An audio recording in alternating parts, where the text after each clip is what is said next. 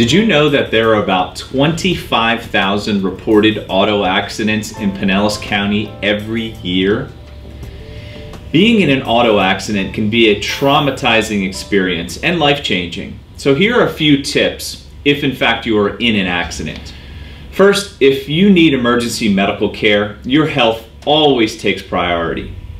But if you don't have to go directly to the hospital, contact law enforcement. Do not go and have form some kind of handshake deal and rely on the other person to take responsibility after the accident. Because remember, your insurance company is not a party to that handshake and they are not bound by that.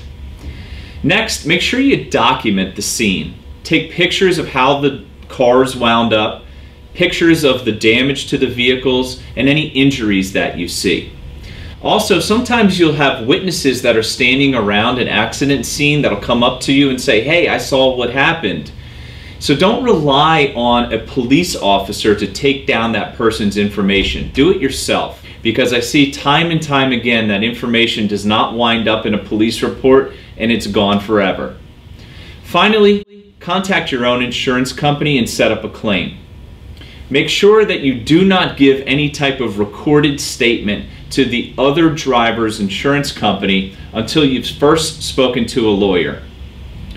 At that point, once you hire a lawyer, he or she will be able to guide you through the next steps in the case. So good luck.